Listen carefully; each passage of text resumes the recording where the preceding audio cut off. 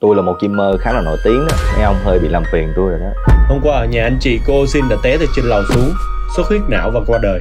Lúc đó tôi đang livestream tôi nói với lại mấy ông mấy lần rồi. Lúc đó tôi cũng stream chung với chồng tôi. Có hơn 300 ngàn người xem đó. Hình như chồng cô đã từng dính drama đi du lịch riêng với Osin thì phải.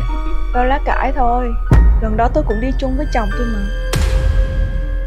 Là nhỉ? Đúng lúc đó cô cũng xuất hiện tại tuần lễ thời trang Paris. Tôi là tôi nói với mấy ông tôi không có gian díu gì là con Usin đó hết. Thật ra tôi là fan của anh. Tôi đã từng xem rất nhiều livestream của anh rồi. Không nói sớm. Người trong bộ tộc đúng không? Mà hôm qua anh stream không giống như mấy lần trước. Anh không đọc bình luận và tương tác với fan. Anh chỉ tập trung chơi game thôi. À, thì ờ, cái game nó khó mà. Cần phải có sự tập trung. Tôi đã biết ai là hung thủ